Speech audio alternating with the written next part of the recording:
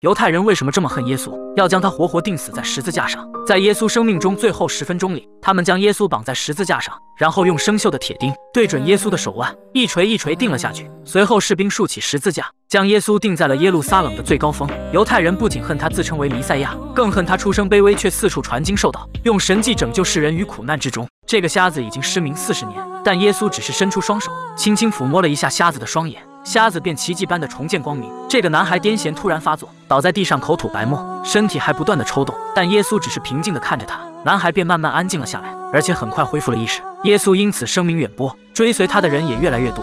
于是耶稣决定带着十二门徒前往耶路撒冷传经授道。这天，他们坐船前往河对岸，但平静的河水突然变得波涛汹涌，十二门徒被吓得惊慌失措，而耶稣却淡定的在睡觉。眼看船就要被风浪掀翻，耶稣这才醒过来。他缓缓站起身，抓住船帆上的绳子，示意所有人不要惊恐。紧接着一个眼神，波涛汹涌的河面就瞬间安静了下来，阳光重新普照大地。十二门徒再一次见证了神迹。之后，耶稣带着门徒一路传道。这天，五千名群众聚集在野地里听耶稣讲道，一直到太阳落山。耶稣见所有人都饿着肚子，于是拿起仅有的五饼二鱼，高举着仰望天空。当他放下篮子的时候，里面居然装满了大饼和鱼干。随后，门徒将这些食物分给民众，最终在场的每个人都分到了食物。就这样，耶稣一路展现神迹。很快就抵达了耶路撒冷。此时的耶稣已经声名远扬，群众都高喊着欢迎他的到来。一旁的犹太人见状，立马指责耶稣，让他的门徒不要在公共场合大喊。随后，耶稣来到一处教堂讲经，突然一个老太太闯了进来，她请求耶稣能帮忙治疗她的驼背。耶稣缓缓伸出双手，握住老太太的脸颊，下一秒。老太太的驼背就奇迹般痊愈，但犹太人却不乐意了，指责耶稣不应该在安息日治病。其他犹太人也纷纷举手赞同，耶稣也因此成为犹太人的眼中刺。第二天，耶稣来到耶路撒冷的圣殿，发现这里被犹太人改成了集市，耶稣根本无法接受，气愤地掀翻犹太人的桌子，释放即将被宰杀的牛羊。他谴责犹太人被金钱蒙蔽双眼，让祷告的圣殿变得肮脏。而耶稣的这种谴责彻底得罪了犹太人。犹太大祭司找到希律王，在他面前不断煽风点火。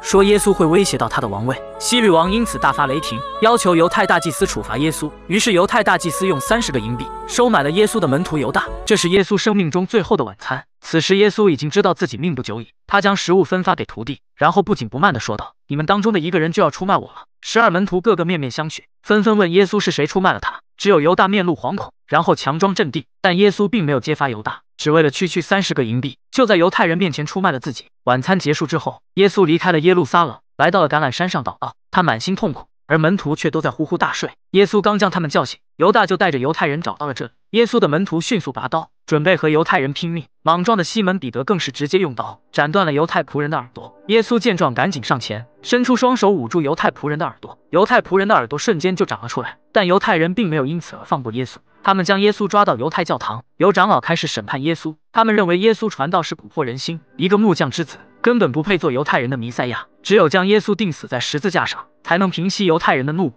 但因为大祭司没有定罪的权利，他们只好将耶稣抓到总督府，列举完耶稣的罪状之后，请求总督判处耶稣死刑。但总督知道这些都是莫须有的罪名，于是故意用耶稣是加利利人为借口，让犹太大祭司去找希律王裁决。希律王不想做这个罪人，但也不想得罪犹太人，于是故意脱下披风为耶稣穿上之后，命令手下将其暴打了一顿，象征性处罚了一下耶稣。接着下令将耶稣又送回了总督府。此时犹太群众聚集在门外，高喊着要将耶稣钉死在十字架上。总督迫于希律王的压力，也为了平息犹太人的愤怒，他想出了一个计策。因为按照惯例，总督要在逾越节释放一名囚犯给犹太人，于是他让这群犹太人选择。是释放强盗巴拉巴，还是释放耶稣？没成想，犹太人宁愿放走恶名昭著的巴拉巴，也要钉死无辜的耶稣。最终，总督只能扔下判决书，同意将耶稣钉死在十字架上。耶稣也因此开启了他的苦难之路。士兵将他的双手绑在柱子上，然后拿起皮鞭疯狂抽打，将背部打得血肉模糊之后，又让耶稣扛着十字架游街，接受群众的唾弃。很快，耶稣就不堪重负，跪倒在了地上。于是，士兵砍断绳子，将耶稣背上的十字架取下，驱赶着耶稣走向刑场。在士兵的推搡下，耶稣踉踉跄跄来到了耶路撒冷的最高峰。这里已经站满了犹太人，